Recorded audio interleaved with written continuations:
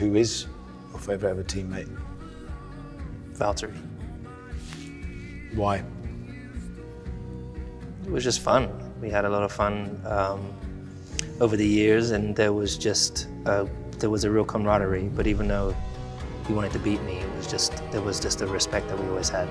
There were never any games between us. You know, it was just straight on. And we traveled together, um, and we just built a really good friendship.